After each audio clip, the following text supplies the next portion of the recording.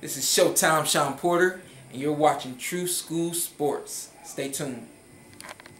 All right, Brennan Taylor here, at Tru School Sports. I'm with Kenny Porter. How you doing, Kenny? I'm great. Did you say True School? Tru School Sports, oh, yeah. Okay, True School. Where'd you get that from? I got it because I remember when I was coming up for a name, I had, I had a web, web, website at the time. Uh-huh. Old, school- like, like I, I, I remember in hip hop songs, I heard that, that term thrown around, so then I, I looked it up on a dictionary.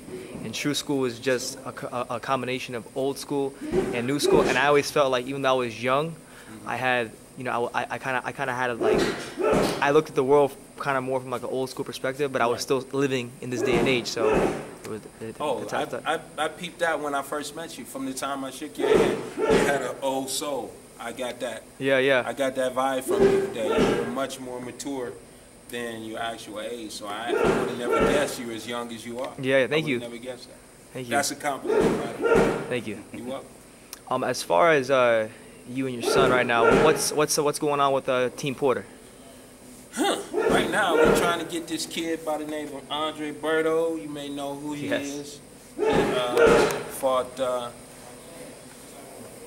he fought uh, Mayweather in Mayweather's last fight before Mayweather retired, and uh, we're trying to get him to sign his, you know, contract to fight Shawn. Um, he's, you know, come out publicly and said he doesn't know what we're talking about, and he doesn't have any, uh, you know, idea of what it is that, you know, we're why we're suggesting that we fight him.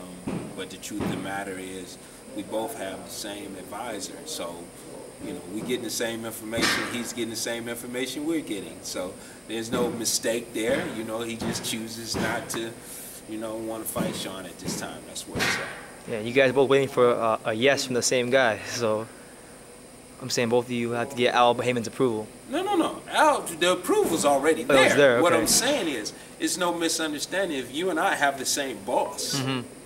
if we're working at the same job and we have the same boss, if there's, if you need confirmation, you just go knock on his door, call him up, and say, "Hey, or am I fighting such and such?" Yes, you are.